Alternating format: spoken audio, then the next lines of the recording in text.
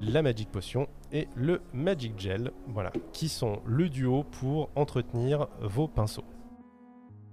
Donc à la fin de votre, euh, à la fin de votre session de peinture, vous allez pouvoir déjà rincer abondamment votre pinceau, histoire que soit le plus propre possible.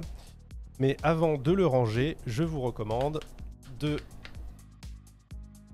le nettoyer dans le Magic Gel en rinçant votre pinceau comme ça à l'intérieur.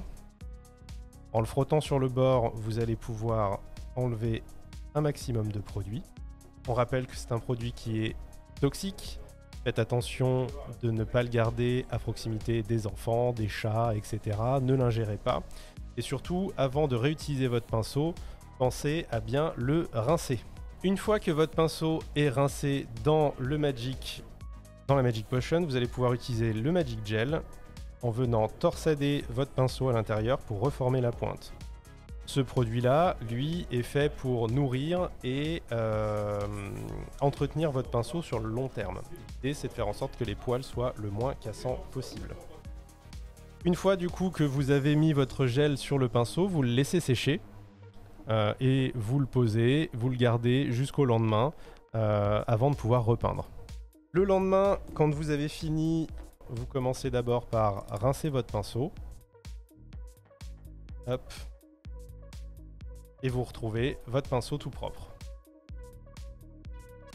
Autre utilisation que vous pouvez faire euh, quand vous avez un pinceau qui est un peu, un peu vieux, qui a plus pris la foudre, qui est plus sale, vous prenez une pince à linge,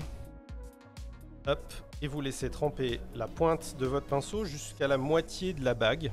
Toujours faire attention de ne pas monter jusqu'au bois du pinceau. Voilà, et vous laissez tremper votre pinceau comme ça pendant une nuit. Avant de réutiliser votre pinceau, donc la fois d'après, vous allez rincer votre pinceau dans l'eau et ensuite essuyer votre pinceau sur un chiffon et vous allez retrouver votre pinceau tout propre. Pour les pinceaux de brossage, je vous déconseille euh, de les passer dans le gel. Vous pouvez euh, tout à fait venir les rincer directement dans le pot.